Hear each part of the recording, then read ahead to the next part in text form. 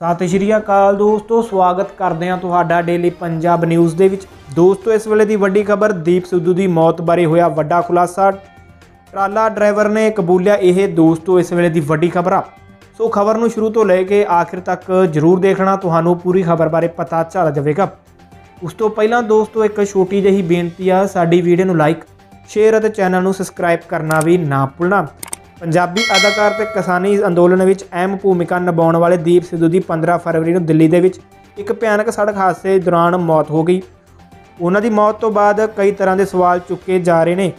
ਕਈਆਂ ਵੱਲੋਂ ਇਸ ਨੂੰ ਕਤਲ ਦਾ ਨਾਮ ਦਿੱਤਾ ਜਾ ਰਿਹਾ ਹੈ ਤੇ ਕਈਆਂ ਵੱਲੋਂ ਹਾਦਸਾ ਆਖਿਆ ਜਾ ਰਿਹਾ ਹੈ। ਫਿਲਹਾਲ ਪੁਲਿਸ ਦੇ ਵੱਲੋਂ ਇਸ ਮਾਮਲੇ ਦੀ ਜਾਂਚ ਕੀਤੀ ਜਾ ਰਹੀ ਹੈ। ਇਸ ਤੋਂ ਬਾਅਦ ਪੁਲਿਸ ਵੱਲੋਂ ਇੱਕ ਟਰੱਕ ਡਰਾਈਵਰ ਕਾਸਿਮ ਖਾਨ ਨੂੰ ਗ੍ਰਿਫਤਾਰ ਕੀਤਾ ਸੀ। ਉਸ ਦੇ ਕੋਲੋਂ ਲਗਾਤਾਰ ਪੁੱਛਗਿੱਛ ਕੀਤੀ ਜਾ ਰਹੀ ਸੀ। ਹੁਣ ਇਸ ਟਰੱਕ ਡਰਾਈਵਰ ਵੱਲੋਂ ਆਪਣਾ ਗੁਨਾਹ ਕਬੂਲ ਕਰ ਲਿਆ ਗਿਆ ਹੈ।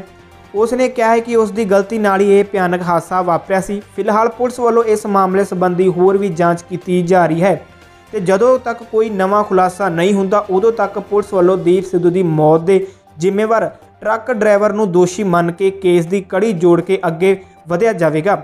ਉੱਥੇ ਹੀ ਪਹਿਲਾਂ ਖਬਰਾਂ ਇਹ ਵੀ ਸਾਹਮਣੇ ਆ ਰਹੀਆਂ ਹਨ ਕਿ ਪੁਲਿਸ ਡਰਾਈਵਰ ਨੂੰ ਜਲਦੀ ਹੀ ਕੋਰਟ ਵਿੱਚੋਂ ਪੇਸ਼ ਕਰਕੇ ਰਿਮਾਂਡ ਤੇ ਲੈਣ ਦੀ ਕੋਸ਼ਿਸ਼ ਕਰੇਗੀ।